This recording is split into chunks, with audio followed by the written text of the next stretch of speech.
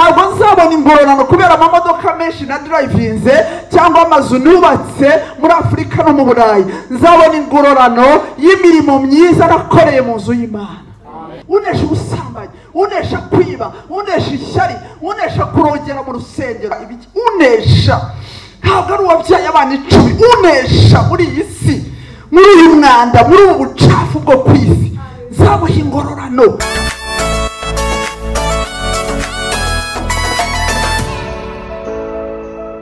Ijambo ry'imana ngiye kwigisha riravuga ngo hari ingororano z'abera bakoreye imana. Yesu ashimwe cyane. Gukorera imana ntabwo ari ukubura akazi. Kuba umudiyakoni mu rusengero ntabwo ari uko wabuze akazi ukora.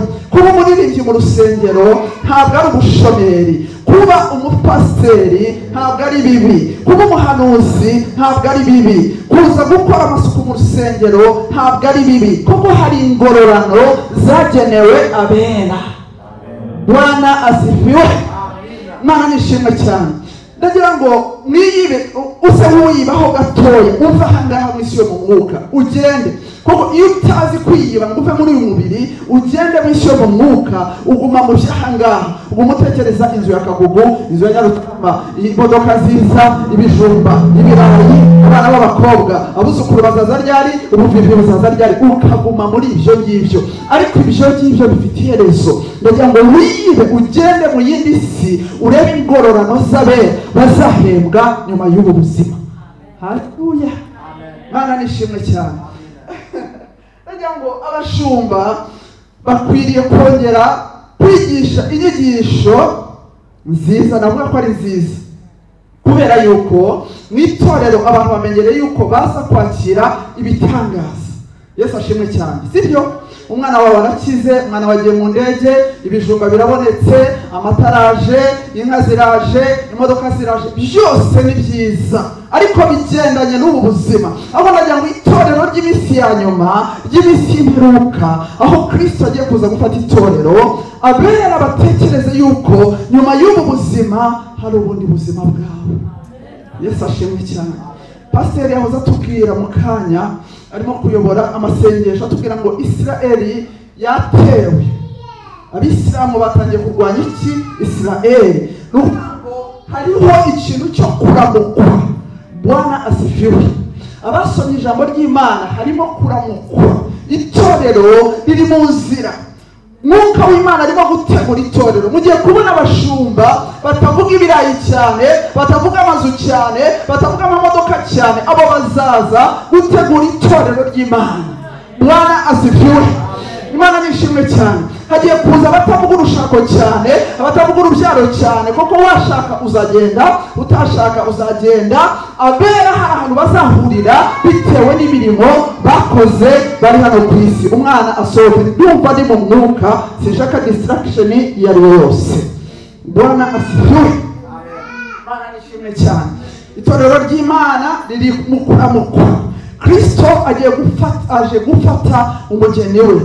Kuko byatangiye mu isi yo mu mwuka intambara. Niwumva intambara y'abakristo n'abisilamu umenye ko hari ikintu kirimo kuba mu isi yo mu mwuka. Ariko nagira ngo mbabwire musenge mukenyere mushakishe ingororano. Yesu ashimwe cyane. Mukiri muri uyu mubiri. Kuko nyuma y'uyu mubiri nta ngororano zindi.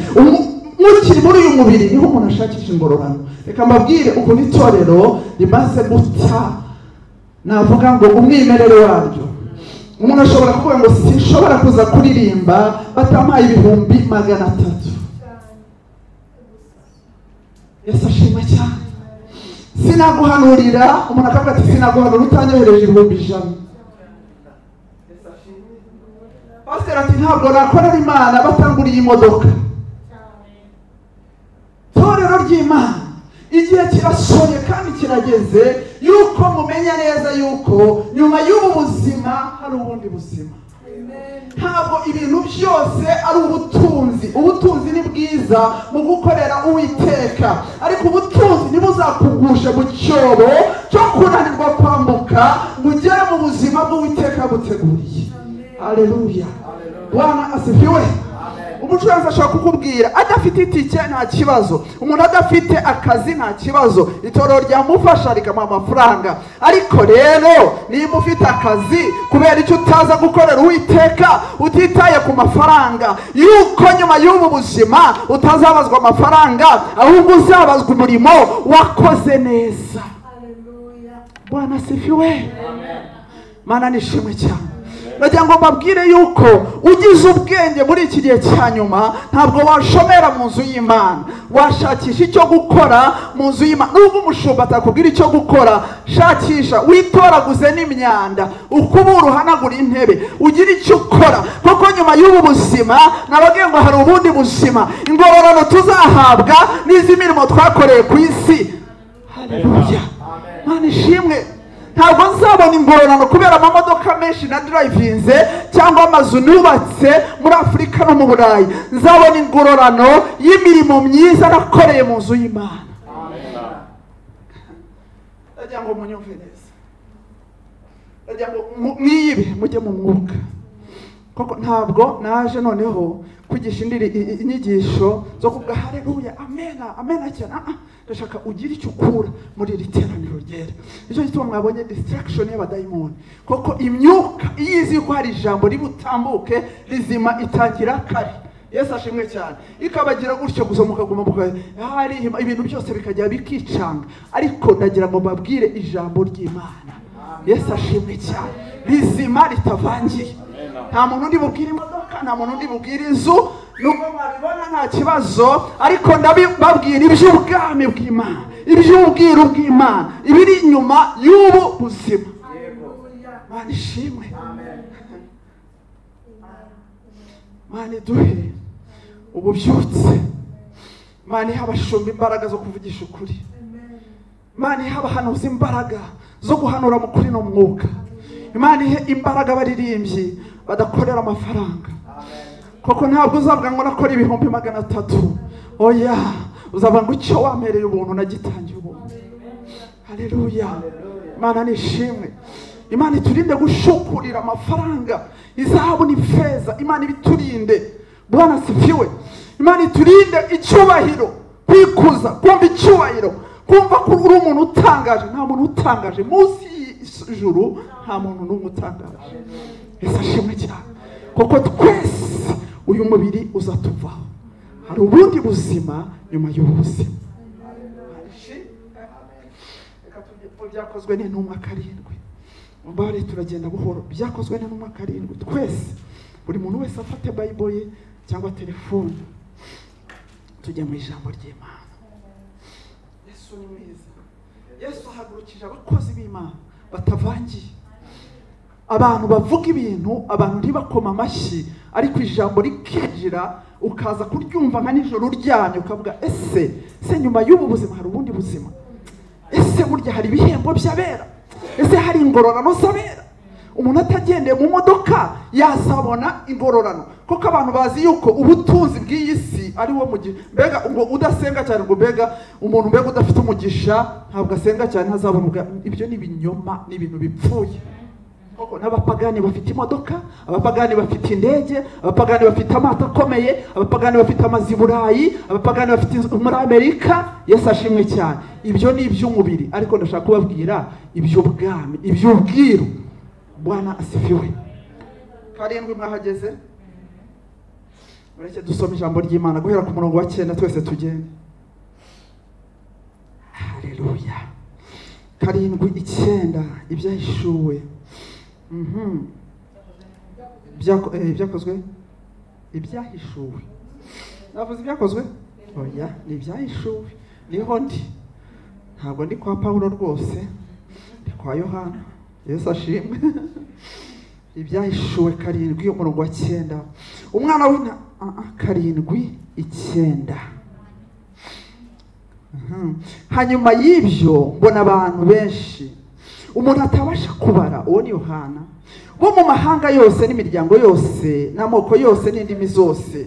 Bahagaze imbere ya ya ntebe n'imbere y'umwana w'intama. Bambaye ibishura byera kandi bafite amashami y'imikindo mu ntoki zabo. Bavuga ijwi rirenga bati agakiza n'ak'imana yacu yicaye ku ntebe na- n'ak'umwana w'intama. Nuko abamarayika bose bari bahagaze bagose ya ntebe n'ab'abakuru na bya bizima bine.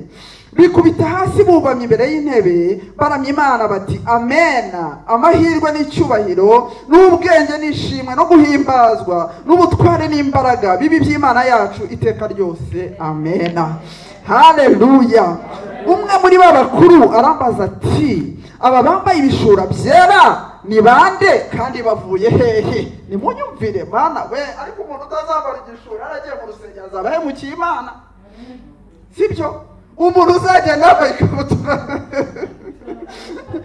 atambaye igishura kera. Yarabaye mu rusengero rw'imana azaba ahemukiye uwiteka? Yesu ashimwe cyane. Ndamusubiza nti mwami wanjye ni wowe ubizi?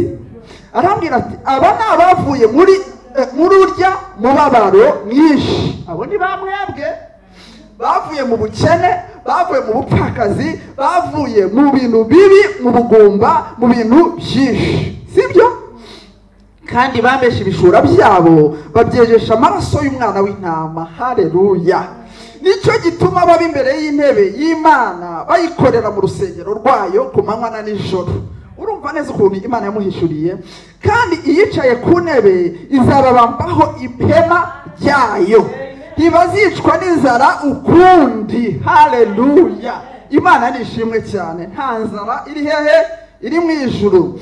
Kandi ntibazicwa n'inyota ukundi. Kandi izuba ntirizaba ntirizabica cyangwa icyokere cyose. Kuko umwana w'intama uri hagati y'intebe y'ubwami azabaragira azabaragira akabuhira amasoko y'amazi y'ubugingo. Kandi imana izahanagura amarira yabo yose ku maso amashyi. Imana ni ishimwe cyane.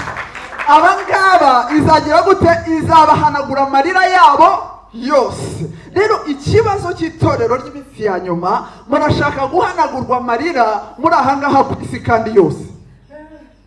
Sibyo? Siko bimeze? Nicyo gituma muva ku musozi umwe mukajya ku wundi. Ugashaka abahanuzi nk'ijana kugira ngo bavuge ko amarira yose yagize gute? Yahanaguwe. Ariko yose azashirira aha ngaha bene da oya reka mbabazi nimukuze se? Ah, nimukuze. Amarira yose azahanagurwa hano ku isi. Ibintu byose ubu bizarangirira aha ngaha. Ariko abo ngabo ngo bambaye ibishura barameshe imyambaro yabo. Abo ngabo batwikiriwe n'amaraso Yesu Kristo w'i Nazareti. Abo barahishuriwe Yesu ashimwe cyane. Bamenye uburyo umuntu akorera Imana mu gihe cye. Imana ni ishimwe cyane. Aba ngaba ntabwo batakaje umwanya wabo birukanka mu bintu bitandukanye. Ahubwo barisobanukiwe bamenya yuko amazina yabo ari mu gitabo cy'ubugingo bakorera Imana bakiri mu yesu ashimwe cyane. Haleluya. Bwana asifiwe. Bikamubwisa ukuri bene data. Ubugumba bushobora kukuvaho ukabyara ariko ugahura n'ubukene. Sibyo? Siko bimeze? Ushobora gukira ariko ugahura n'ubugumba. Ushobora gushaka ushobora gupfaka ushobora guca mu bintu ibyo ari byo byose. Ariko icyo nshaka kukubwira ntuzave muri aba ngaba. Yesu ashimwe cyane. Ntuzave muri aba yohana yabonye ku kirwa cya hehe cy'ipatimosi bari bazi ngo baramujugunye nta kintu azongera kubona bagiye kumwica. Ageze hagira gute ajya mu iyerekwa kuko yisobanukiwe kera. Imana ni ishimwe cyane. Hazaza itotezwa mu minsi y'imperuka. Itorero rizatotezwa abakristo bazatotezwa. Ariko se umeze nka yohana? Yesu ashimwe cyane. Uzabona icumu uzabona imihoro uzabona ibintu bitandukanye. Uvuga ngo yesu kirisito ni umwami n'umukiza wanjye. Uzahagarara neza kandi utarigeze uhagarara warabaye nk'urubingo. Yesu ashimwe cyane. Urubingo umuyaga uhuha ahangaha ukagenda. Wahuha ahangaha ukagenda. Ni ukuvuga ngo ibintu byose byaragucanganyikishije ugomba kuba uguhagarara neza. Kumenya imana yawe neza. Kumenya agakiza kawe neza. Kumenya uriwe muri kirisito yesu. Haleluya bwana asifiwe. Yohana arababona. Abona bari imbere y'intebe y'imana. Ababona barameshe ibishura. Ababona basa neza. Ariko se marayika aramaze ati ariko aba ngaba wabamenye? Wabasobanukiwe? Ataba aba ni ba bandi. Yesu ashimwe cyane. Aba ni ba bandi babaye mu itorero bagakorera imana neza. Aba ni ba bandi baporotokoye neza batitaye ku kintu icyo ari cyo cyose. Aba ni ba bandi baririmbye batitaye ku ndamu. Aba ni ba bandi bashumbye batareba abakristo ngo bazabaha amafaranga. Aba ni ba bandi bakiranutse. Yesu ashimwe. Bwana asifiwe. Imana yacu ni ishimwe cyane. Aba ni ba bandi bisobanukiwe ntibarebe ibibazo bafite. Aba ni ba bandi batitaye ku bukene bwabo. Aba ni ba bandi batitaye ku bupfakazi. Aba ni ba bandi batitaye ku bugumba. Aba ni ba bandi batitaye ku bantu babaseka. Yesu ashimwe cyane. Uzi ko hari igihe abantu bakunegura bakaguseka nawe ukiheba ukagira ngo amazina yawe yavuye mu gitabo cy'ubugingo. As long as amazina yawe ari mu gitabo cy'ubugingo ntukagire umuntu witaho. Ibyo baseka ibyo bavuga ibyo banegura ntaho bihuriye n'ubugingo. Yesu ashimwe cyane. Bwana sifiwe ah ibintu byaha ku isi ibintu byaha kuri ubu butaka nta hantu bihuriye n'ubugingo buhoraho. Ibi ngibi ni ibintu bishira. Bakuvuga ba- ba- bakora inama bakora ibiki ntaho bihuriye n'ubugingo yesu ashimwe cyane. Bwana asifiwe. Imana nishimwe ndagira ngo mukanure amaso y'umwuka. Umenye neza aho ujya. Umenye neza aho uva. Ureke kujyanwa n'umuyaga. Yesu ashimwe cyane. Ureke kuba iki? Urubingo. Aho umuyaga uhushye ni ho ugiye. Ubukene ubugumba ibiki abana bananiranye ibiki rengagize byose. Wirebe wowe. Ndagira ngo mwikunde muri yesu kirisito yesu ashimwe cyane kuko iyo utikunze ntushobora kuzabona ubwami bw'imana. Utikunze ngo wirebe kuko abana bawe bafite inzira yabo. Umugabo wawe n'umugore wawe bafite inzira? Mama wawe afite inzira ye? Papa wawe afite inzira ye? Wowe urebe inzira yawe. Iyo bigeze ku by'ubugingo ugomba kwikunda.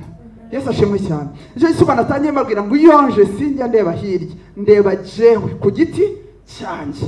Yesu ashimwe cyane. Bwana asifiwe. Ibyahishuwe kabiri. Kabiri cumi na karindwi. Munsi ni ibyahishuwe kabiri ibyahishuwe mhm, cumi na karindwi. Ufite ugutwi niyumve ibyo umwuka abwira amatorero. Unesha azamuha kuri mano yahishwe uwo ni yesu kirisito arimo kubwira yohana. Yesu yesu ashimwe cyane. Yabaje kumubwira aramubwira ati rero hari amatorero arindwi. Yo muri aziya ngiye kugira gute kugutumaho. Kandi buri torero rifite defo yaryo. Imana arishimwe cyane. Hari ibyo mbagaya kandi hari ibyo mbashima. Bivuze ngo buri muntu wese reka wiyite itorero. Rimwe muri aya ngaya. Yesu ashimwe cyane. Ushobora kwiyita itorero ryo muri efeso ushobora kwiyita iryo muri simuruna perugamo. Yesu ashimwe cyane. Tawatira ushobora kwiyita itorero iryo ari ryo ryose. Noneho irebe. Arabwira ati bose mfite ibintu byo mbashima ni ukuvuga ngo uko baje mu rusengero hari ibyo imana igushima ariko hari ibyo ikugaya uranyumva neza ntabwo byose tubyujuje ijana ku ijana hari ibyo imana igushima kwiyima umwanya ukaza mu rusengero rw'imana gukora ibintu bimwe na bimwe bitandukanye hari ibyo igushima ariko nanone hari ibyo igira gute? Ikugaya. Ariko noneho yesu agenda abwira yohana buri torero ibihembo bizagira gute? Bizahembwa. Ni ukuvuga ngo igihembo cyanjye ntabwo ari cyo cya mama igihembo cya mama si cyo cya mama uyu igihembo cy'uyu si cyo cy'uyu. Buri muntu wese afite ibyo anengwa afite ibyo ashimwa afite n'uburyo azahembwa. Cumi na karindwi kabiri. Kabiri cumi na karindwi. Ufite ugutwi niyumve ibyo umwuka abwira amatorero. Unesha azamuha kuri manu yahishwe. Hari manu yahishiwe abera. Bwana asifiwe. Ariko se ko mutavuga amena mama mvuge imyumbati se. Mvuge imyumbati mvuge ibitoki mvuge yesu ashimwe mama ayiwe abera. Abantu barashaka ibyaha gusa murumva navuga ni nimwakira ibitoki nimwakira ibijumba nimwakira amata amamodoka. Ah, ah, unesha nzamuha kuri manu yagize gute? Yahishwe. Manu azayifatira ahangaha azayifata nyuma y'ubu buzima. Sibyo? Muhe n'ibuye ryera ryanditsweho izina rishya ritazwi n'umuntu wese keretse urihabwa. Haleluya bwana asifiwe. Unesha nzamuha ibuye rishya ritazwi n'umugabo we ritazwi n'umwana we ritazwi na mama we ritazwi na papa we. Unesha nzamuha ibuye rishya kandi nzandikaho izina rye. Mana ishimwe unesha ibyaha unesha iby'iyi si unesha agahinda unesha ishyari unesha ubugome. Koko mu itorero hasigaye hari ubugome mbega byaricanze yesu ashimwe cyane. Umuntu ashobora kukubona mu itorero akakwanga gusa. Yesu ashimwe. Kuko afite iki? Imyuka mibi. Ariko imana ibwira yohana amubwira ati, noneho unesha jyewe. Nzamuha izina rishya. Ariko iryo zina rizaba ryanditse ku ibuye. Kandi iryo buye nta muntu uwo ari we wese uzasoma iryo zina. Ni pini namba yawe ugeze mu ijuru bijyanye n'imirimo wakoreye imana. Yesu ashimwe cyane. Bene data ayiwe unesha abwira yohana tumva unesha nzamuha ibuye ryanditseho izina rishya. Ntabwo rizaba ryanditseho izina ryanjye. Hari irindi zina azahabwa bitewe n'imirimo. Haleluya bwana asifiwe. Imana nishimwe cyane. Hari irindi zina hari irindi ranka uzahabwa bitewe n'imirimo. Ariko iryo zina nta muntu uzaribona umugabo wawe ntazarimenya abana bawe ntibazarimenya. Ni wowe urihabwa pini namba yesu kirisito azajya agutagira gute? Ayigushyikirize yesu ashimwe cyane. Bwana asifiwe. Ariko nkunda imana yesu ashimwe. Yohana arabyumva aravuga ati mu buki? Unesha uzamuha ibuye? Ryanditseho iki? Pini namba nta muntu uzaba uyizi minisiteri yo mu ijuru narababwiye ngo ntabwo ari minisiteri ya kupure yesu ashimwe cyane. Sheri wawe nimba gukunda umbabarire. Bwana sifiwe niba ufite abana muhana amabizu nta kibazo ni ibyaha ngaha. Ariko unesha nzamuha ibuye rishya ryanditseho izina ritazwi n'umuntu wese. Yesu ashimwe cyane. Ni cyo gituma njya nanga abantu bavuga ngo papa yarambujije kujya mu rusengero kandi afite makumyabiri n'itanu kandi ubwo akajya mu kabari. Bwana sifiwe ariko abantu barabeshya. Yesu ashimwe cyane. Cyangwa umugore akavuga ngo ni ukuri umugabo wanjye yarambujije kujya mu rusengero. Kandi yirirwa yikatisha mu mujyi uhura nawe kwa rubangura ugahura nawe kimironko ugahura nawe. Noneho ukibaza umugabo amubuza mu rusengero gusa. Unesha nzamuha izina rishya. Iryo buye rizaba ryanditseho izina rishya ritazwi n'umuntu uwo ari we. Hagati kizana k'umuntu ku giti cye. Yesu ashimwe. Ibintu ntabwo ari ibya famiye ngo umutungo wa famiye ngo ku murenge ngo basinye abana bose ngo n'umugore n'umugabo ngo ni fifite fifite ntayihari mu ijuru. Bwana sifiwe yesu ashimwe cyane. Mu ijuru nta mirongo itanu mirongo itanu. Icyangombwa cy'ubutaka nta kiriyo. Unesha nzamuha izina rishya.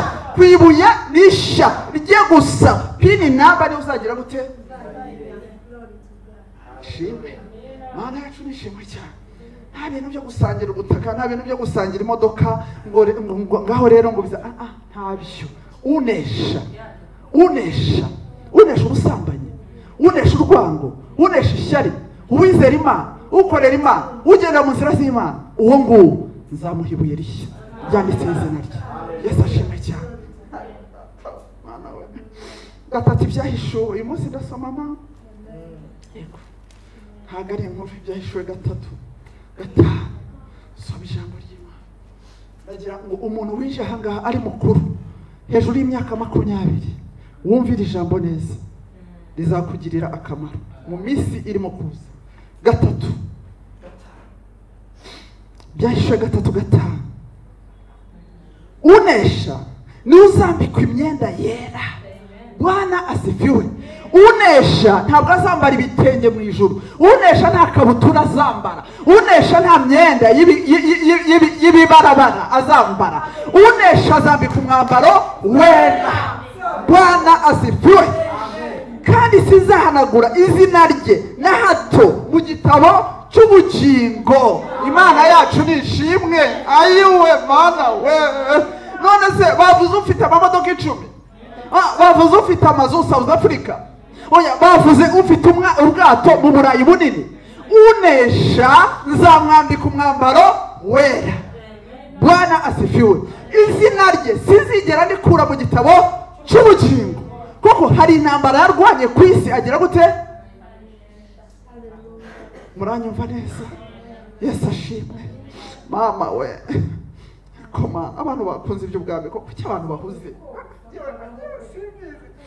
ituma abantu bahugiye mu mazu bahugiye mu butaka bahugiye mu modoka bahugiye muri viza bahugiye mu bana bahugiye mu bagore bahugiye mu bagabo. Unesha! Nzamwambika umwambaro wera.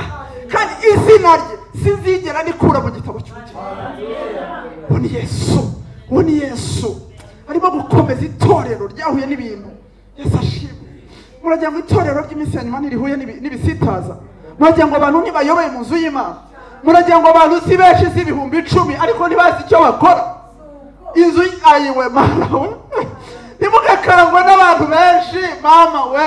Unesha nzamwambika umwambaro wera. Izina rye zizarivana mu gitabo cy'ubugingo.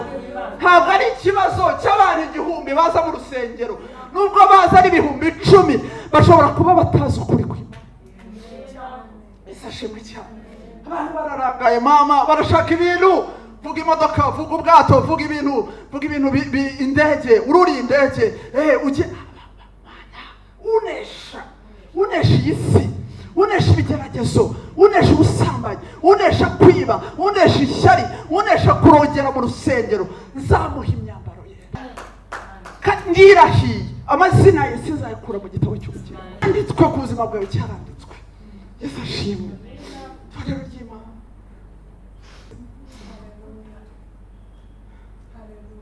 Itorero ry'imana mani duha abahanuzi bazima bavuga ibintu bizima mani duha abaririmbyi bazima mani duha abadiyakoni bazima abantu bazi icyo baza gukora mu nzu y'imana. Ntabwo ari igihiriri ntabwo ari ukwinjira ari benshi kandi ngo bambaye neza. Ibintu bizarangira. Ibintu bifite iherezo. Yesu ashimwe. Abantu batabwiza abantu ukuri? Unesha. Zamuye imyambaro yera amazina ye ndirahiye ntazava mu gitabo cy'ubugingo yesu ashimwe cyane. Amatwi y'abantu ari bijereri mu minsi y'imperuka. Bashaka kumva ibintu gusa. Nta kindi kintu abantu bashaka. Bashaka kumva ibintu. Mbonye umugabo abonye umugabo abonye umugore abonye abana icumi abana b'impanga. Unesha. Ntabwo ari uwabyaye abana icumi. Unesha muri iyi si muri uyu mwanda muri ubu bucafu bwo ku isi. Nzabuha ingororano izina rye sizarihanagura na hato mu gitabo cy'ubukire bwana sifiwe kadukomeza icyo cyanditswe tuba tugeze gatanu mhm. ahubwo nzatura izina rye imbere ya data n'imbere y'abamarayika be. Haleluya. Mwana nishimwe cyane. Ahubwo ngo nzatura izina rye nzarivuga imbere ya data n'imbere y'abamarayika kuko hari ikintu azaba akoze mu isi yo mwuka azaba anesheje iyi si yanduye. Iyi si y'ibyaha iyi si y'ibigeragezo iyi si yo tudasinzira iyi si yo tutaryama iyi si yo tutanezerwa iyi si yesu ashimwe. Nkababwire bene data.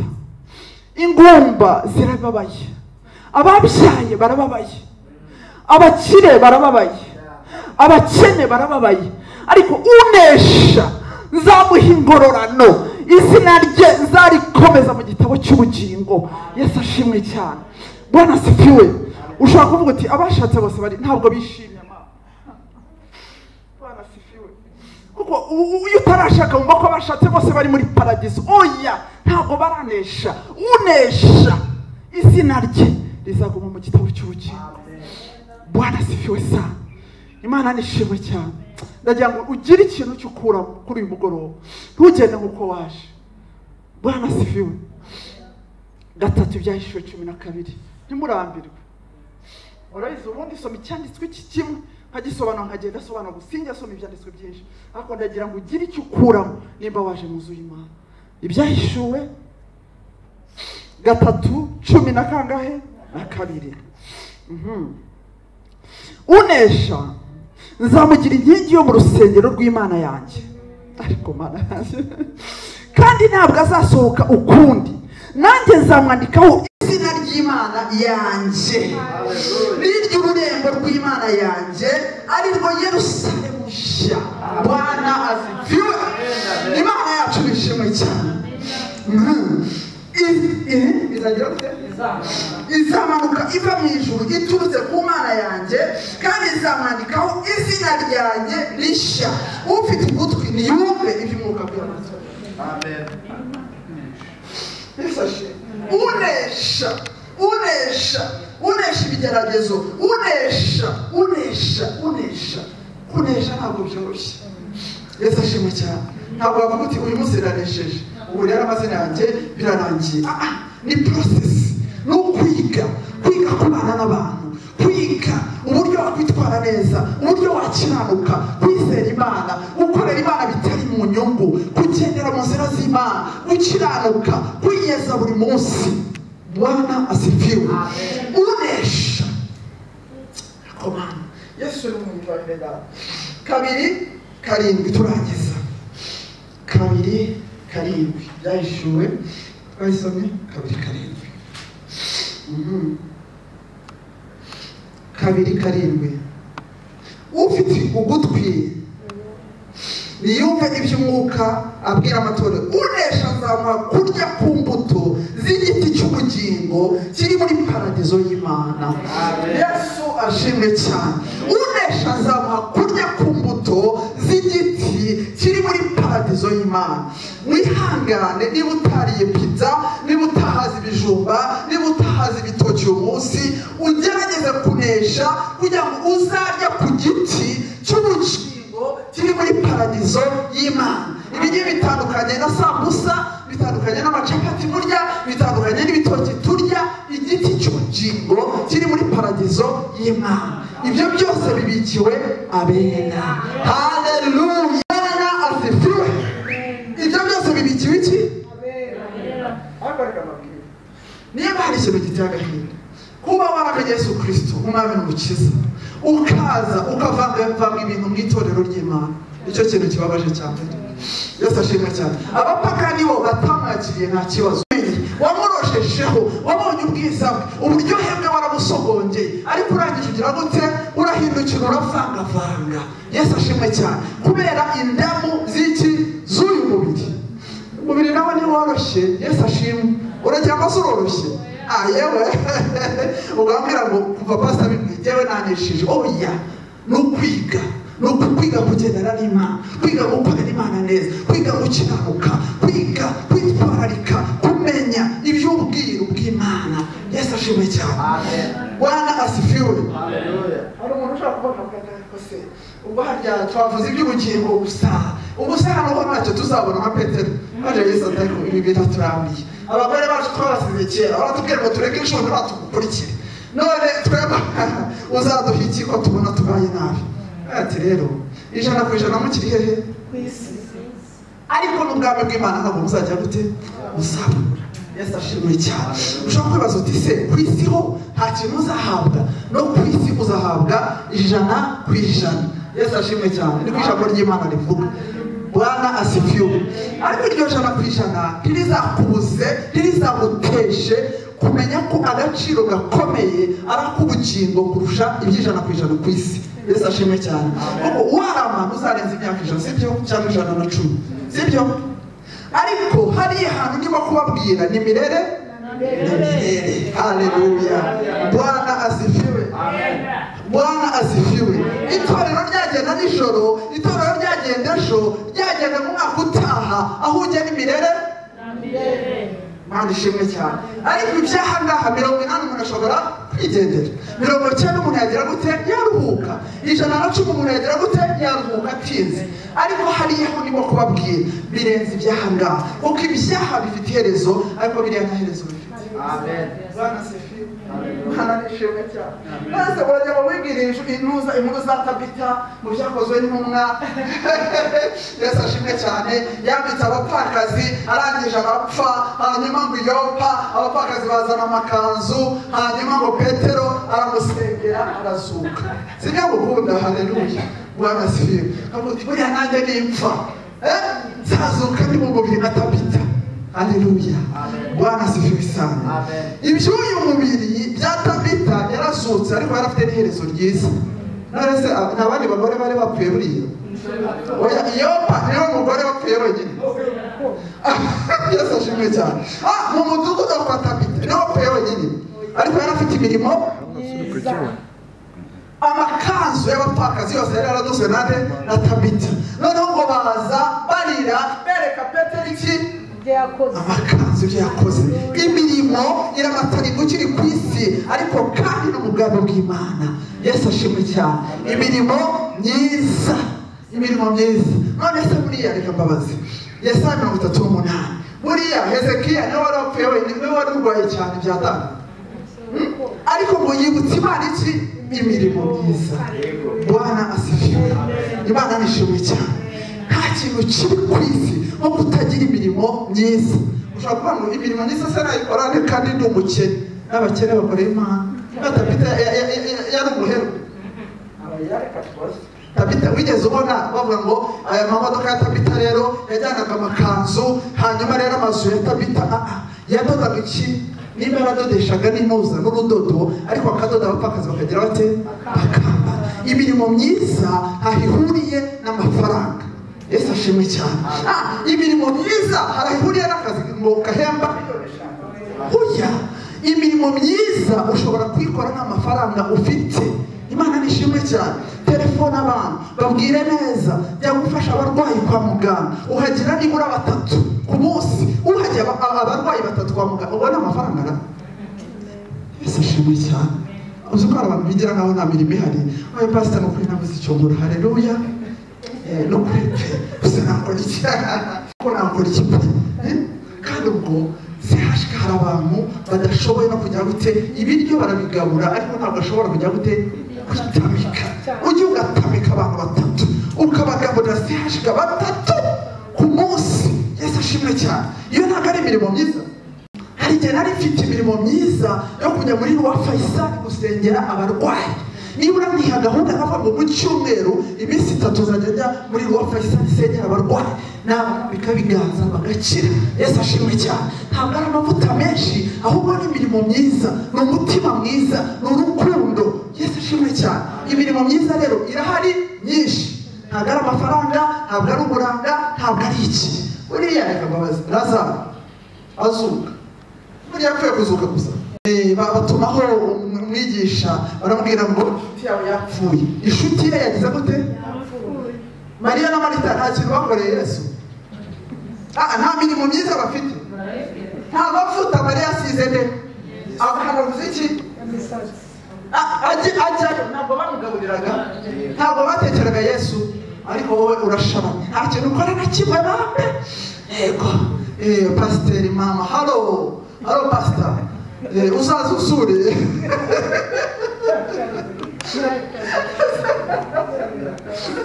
sashimwe cyane mbega ni ngo wowe ni ukuruhuka gusa uri mu gihe cy'iki cy'isabato kandi uri ku isi ariko uri mu ki mu isabato yesu ashimwe cyane muri yohana cumi na rimwe bariya bagore mariya ntacyo bakoraga bapfuye kuvuga gusa yesu uzaze utuzurire aza abazurira kubera iki se bapfuye banditse muri karitsiye nta ba- nta bapfuye ariko ngo babyumvishe aravuga ngo razaro ntabwo yapfuye yagize gute?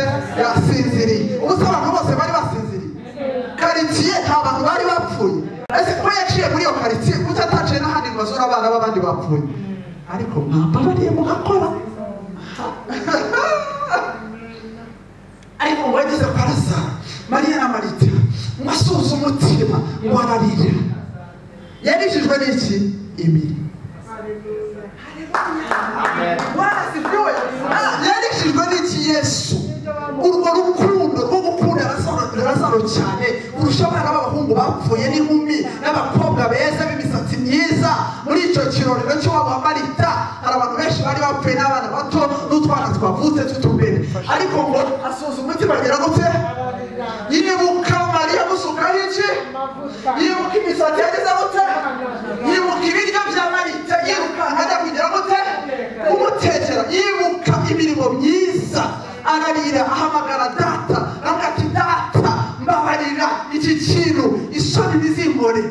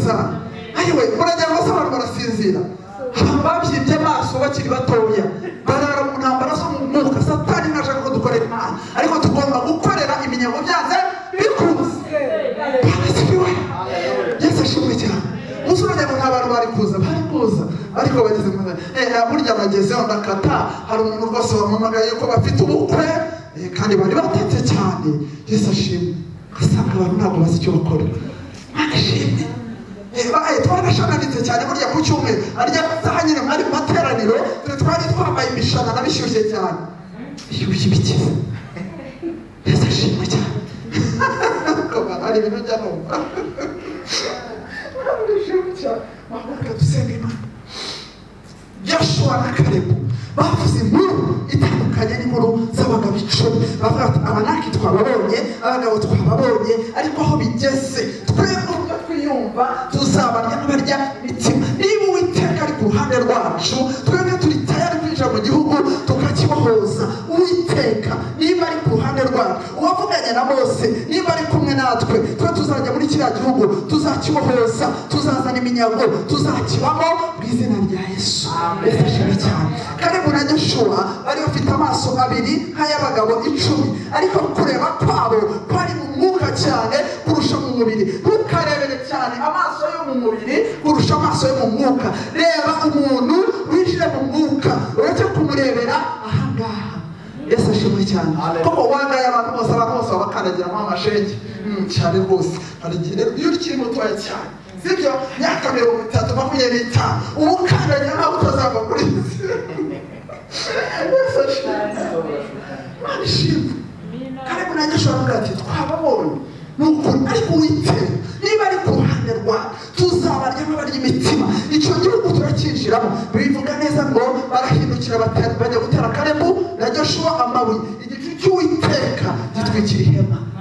bwana asifiwe.